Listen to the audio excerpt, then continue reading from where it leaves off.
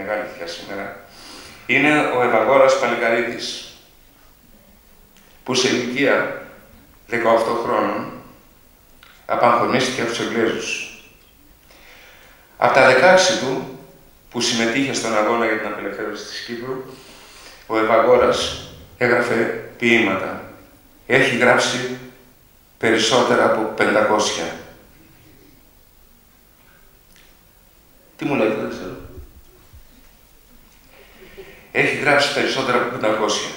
Ένα από τα ποίηματα που έχει γράψει ήταν αυτό που ένας άλλος μεγάλος ε, Κύπριος συνθέτης.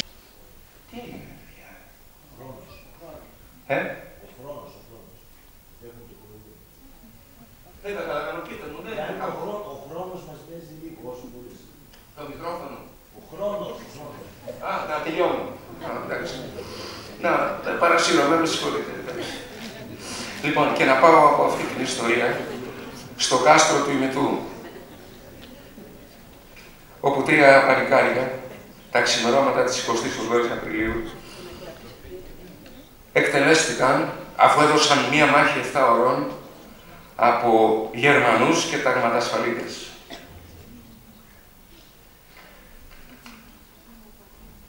Αφού λοιπόν σκοτώθηκε ο πρώτος, ο δεύτερος, ο τρίτος, θα σας πω τα ονόματά τους, είναι ο Δημήτρης ο Αβιέρης, ο Θάνος ο Κιουκμενίδης και ο Κώστας ο Φορτόπουλος, πήραν τα σώματά τους οι Γερμανοί και τα εξαφάνισαν. Δεν πήγαν στους γονείς τους. Έχουμε λοιπόν το κάστρο του ημιτού, αλλά έχουμε και κάτι άλλο,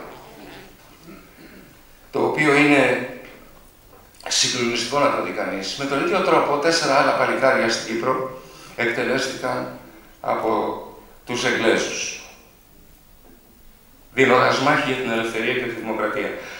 Για να μην σας κουράζω, δεν ξέρω, παρασύρωμαι κι εγώ, πρέπει να σας πω ότι οι μαθήτριες και οι μαθητές της Κύπρου έδωσαν πάρα πολλά στον αγώνα του Κυπριακού λαού. Αλλά εκείνο το οποίο είναι εκπληκτικό είναι αυτά που προσέφεραν οι μανάδες της Κύπρου.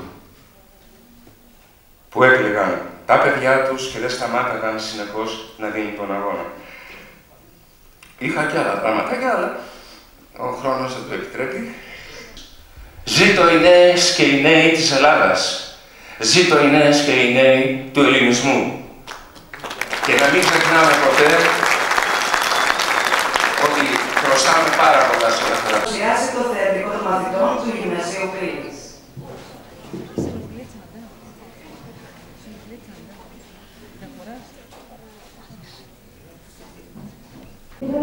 χωριστήκαν, μπροστά των βουλγάρ χωριστήκαν, μαζί Μα για